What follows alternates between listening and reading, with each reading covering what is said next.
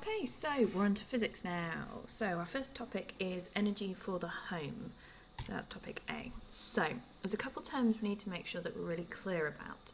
Um, and temperature is one of those. So when we're talking about temperature, we're just saying that temperature is a measure of how hot or cold an object is. So it's just purely about how many degrees C or degrees Fahrenheit, if you want to be American, uh, but where it is on that scale. Now, on an atomic scale, so if we zoomed in, that would be telling us how much kinetic energy the atoms have. So when we then want to talk about it in terms of heat, we'd say that energies that have uh, objects that have more heat have more energy. Objects that have less heat have less kinetic energy. When we're talking about temperature, we're talking about how many degrees it is, so how hot or cold it is. When we then talk about how much heat it has, we're talking about how much energy it has. Now, the two things are linked, but they are slightly different, so you just need to make sure that you're careful about how you're using the words heat and temperature. So, as I said, with heat, we're talking about the amount of energy. And heat, like all types of energy, is measured in joules. So that's capital J. And as a general rule, heat moves um, from hot places to cold places. So hot things have a lot of heat energy, cold things don't, which is why the heat goes from the hot to the cold. And the bigger the difference the temperature is, the faster the heat will move. So if something is really, really hot and you stick it in the freezer, it'll get cold quicker than if you put it in the fridge. That's why um, boiling water freezes faster than cool water. Nice little factoid for you there. So, uh, thermograms, these are one of those things that we need to just know about because the exam board quite like them. Um, and they are pictures that use colour to represent temperature. So, white or red is hot, yellow is a fairly average uh, temperature, and blue is cold. Uh, so, pretty simple as that. So, there we go picture of a dog. Um, so you can see there's a lot of heat around its face and its arms and on its front legs, but most of its body is a lot cooler, so it's not losing heat from its main body. So, what we need to be able to do is calculate how much energy it takes to change something's temperature. And that depends on three things. It depends on the mass of the object, what the object is made of, so the type of material it is, and how much you want to change the temperature by. So to do that, we have an equation. Yay! It's physics. We've got to have equations. They're awesome.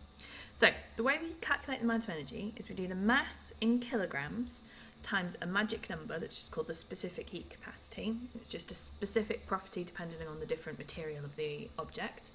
Um, you'd always be given that. And then you multiply that by the change in temperature. So that's mass by specific heat capacity times change in temperature.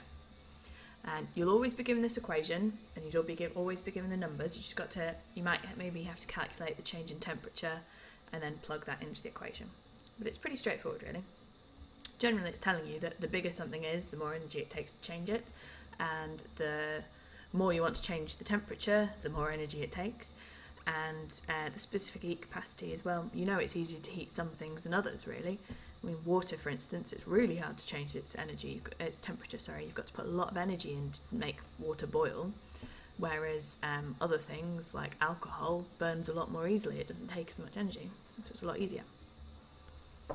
Right, so basically all we're saying is that if we want to change the temperature of an object, we need to move the energy around. So if we want to make it hotter, we need to increase its energy. If we want to make it cooler, it's got to lose energy. So when we plot how temperature changes against time, so if I was heating something pretty evenly, um, and I'm just changing its temperature, then um, if I record that on there, we can see what's going on. I'm just going to get my pen out. So in this section here, I've got a solid. So you can imagine that I've got a cube of ice, and I'm just heating it up.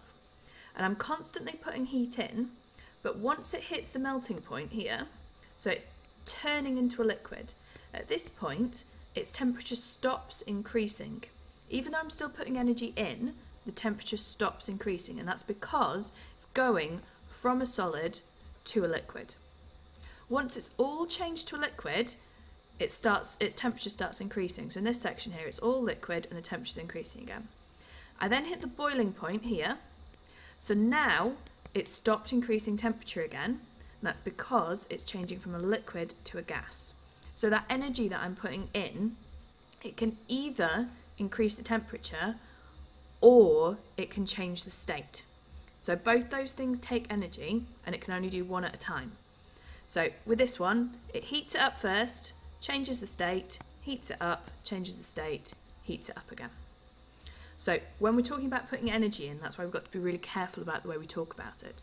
Because for the whole thing here, I'm increasing its heat, but I'm only increasing its temperature in these three sections here. That got a bit busy, didn't it? Okay, hope that makes sense. We'll have another look at these in class. Let's see if I can manage to uh, change slide. There we go. Go back to an arrow again. Right, okay, so what's happening to the energy? As we said, the energy can only do one thing. It can either increase the temperature or change the state. So while a substance is changing state, its temperature remains constant. So, energy, it's like a man, it can only do one thing at a time. Horribly sexist of me, but maybe you'll remember it. Okay, so when we think about how much energy is needed to change state, we need to think about a few things. So, again, the mass, again, the substance that it's made of, and finally, what state it's changing between. Because it's easier to change between some states than others. So, it takes a different amount of energy. So, again, we've got another equation. So, what we do is we do the uh, energy equals the mass times the specific latent heat. Now, specific latent heat is just a special number. Um, it means uh, it's telling you that for a specific material, how much energy do you need to put it in to change it from a liquid to a solid? And that would just be one number. Now, for the same material, there would be a different number from going to liquid to gas. And then if I had a different material again, that would have a different number for each of those two things. Again, you will always be given these numbers, you just need to plug them into the equation. This is aimed more at the higher than the uh, foundation paper as well, so don't panic if you've not quite got that around your head. It basically boils down to picking out a number and sticking it into the equation. Okay, so that is the end of uh, P1A. I hope it wasn't too terrifying. I'm going to teach you all to love physics, I promise. It is awesome. Okay, enjoy.